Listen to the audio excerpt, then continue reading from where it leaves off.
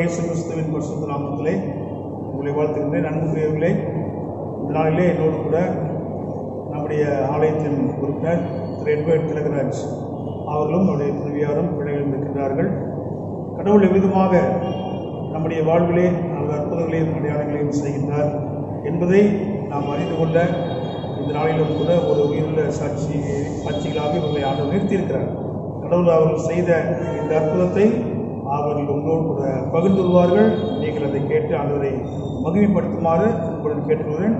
அஹ், இப்பொழுது அருமையான சகோதரி அவர்கள் தன்னுடைய கடனாருக்கு ஆண்டவர் செய்த இந்த அற்புதத்தை அவர் நம்மோடு கூட பகிர்ந்து கொள்வார்கள்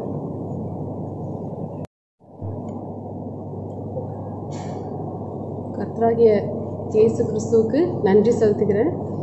என்னோடய என்னோட ஹஸ்பண்ட் எட்வர்ட் திலகராஜன் அவர்களுக்கு ஜூன் நைன்த் அன்னைக்கு சும்மா கஷ்டமாக இருந்துச்சுன்னு சொன்னாங்க. ஒரு மாதிரி அன்கம்ஃபர்டபுளாகவே இருந்துச்சுன்னு சொன்னாங்க. நாங்கள் கொங்குநாடு போனோம். போய் நைட்டு டூ ஓ கிளாக் திடீர்னு பார்த்தா ஒரு மேசிவ் ஹார்ட் அட்டாக் அப்படின்னு சொன்னாங்க. அவருக்குரிய அவருக்கு உரிய அது அவருக்கு எந்த கெட்ட பழக்கமும் இல்லை. எந்த ஒரு மெடிக்கல் ப்ராப்ளம்ஸும் அவ்வளோ நாளும் நாங்கள் டிடெக்ட் பண்ணதே இல்லை. நான் கல்யாணம் ஆனதுக்கப்புறம் ஃபர்ஸ்ட் ஃபர்ஸ்ட் அவருக்கு ஹாஸ்பிட்டல் போகிறோம்னா அதுதான். அதுக்கப்புறம் இமீடியட்டாக பிஹெச்டி கூட்டிகிட்டு போனோம். அவங்க சொன்னாங்க ஆன்ஜியோ பண்ணணும். பண்ணிட்டு தான் பிளாக்ஸ் இருக்கா என்ன அப்படின்னு சொல்லி பார்க்கணும் அப்படின்னு. ரொம்ப டென்ஷனாக இருந்துச்சு. ஏன்னா நான் டாக்டர்கிட்ட கேட்டேன் என்னோட கணவருக்கு தான் ஹார்ட் அட்டாக்கா அப்படின்னு. டாக்டர் என்னை கைப்பிடிச்சு கூட்டிகிட்டு போய் இவரை காமிச்சு. இவர் தானேங்க எட்வர்டு இவர் தானே உங்கள் ஹஸ்பண்டு இவருக்கு தான் ஹார்ட் அட்டாக்கு அப்படின்னு சொன்னாங்க. நம்ப முடியல. அந்த ஹாஸ்பிட்டலே முட்டி போட்டு நான் ஜெபிச்சேன். பயங்கர கண்ணீரோடு ஜெபிச்சேன். ஏசப்பா என்னோட வாழ்க்கை எனக்கு தாங்க. என் பிள்ளைங்களுக்கு தகப்பம் வேணும். நாங்கள் யாரை நம்பி இருக்கோம் உங்களை மட்டும் தானே டாக்டர்ஸ் வந்து ஆன்ஜியோ பண்ணாங்க. பண்ணிட்டு சொன்னாங்க.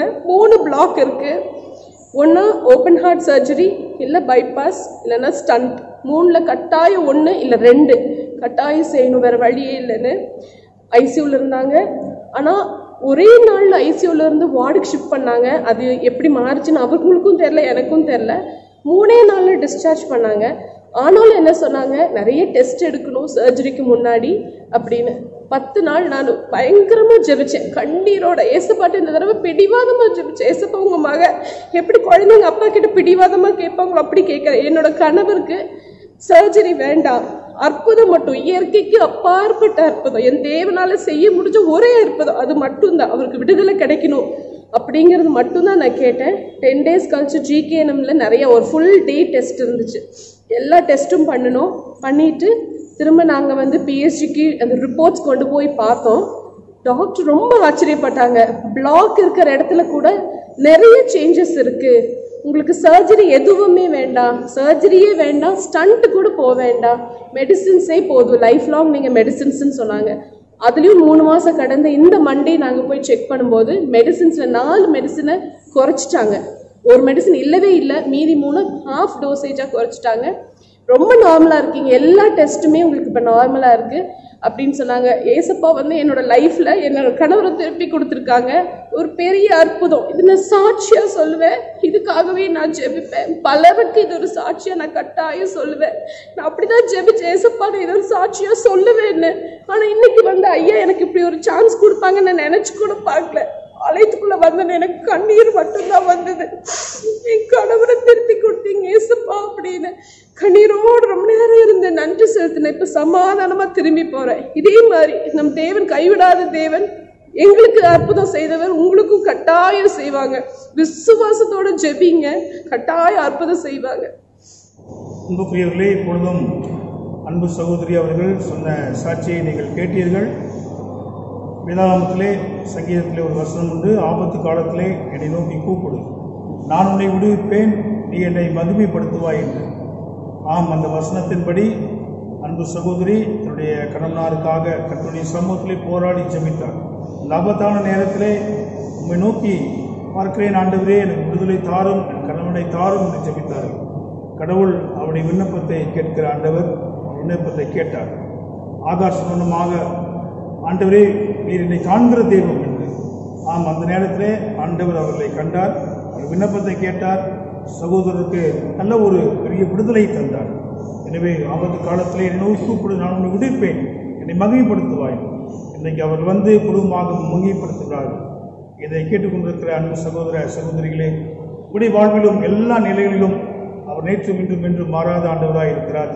நீங்களும் இப்படிப்பட்ட அற்புதத்தையும் அடையாளத்தையும் செய்கின்ற ஆண்டவரை விசுவாசிகள் உங்களுடைய வாழ்வை ஆண்டவர் மாற்றுவார். உங்களுடைய வாழ்வில் எந்த பிரச்சனைகளை நீங்கள் சந்தித்தாலும் கூட கத்திரிடத்திலே நீங்கள் செல்கின்ற பொழுது அவருடைய சமூகத்திலே நாம் மன்றாடுகின்ற பொழுது அந்த விண்ணப்பங்களை கேட்கிற ஆண்டவராய் காணப்படுகிறார்.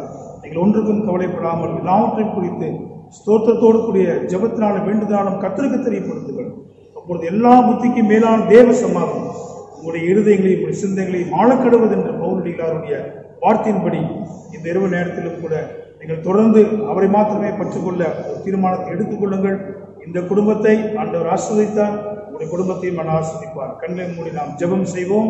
எங்களை அதிகமாக நேசிக்கிற எங்கள் நல்ல ஆண்டவரே இந்த அருமையான சாட்சி வேலைக்காக நன்றி செலுத்துகின்றோம் கத்தாவே உயிருள்ள சாட்சிகளாய் வந்து கடவுள் எங்களுக்கு ஒரு அற்புதத்தை செய்தார்.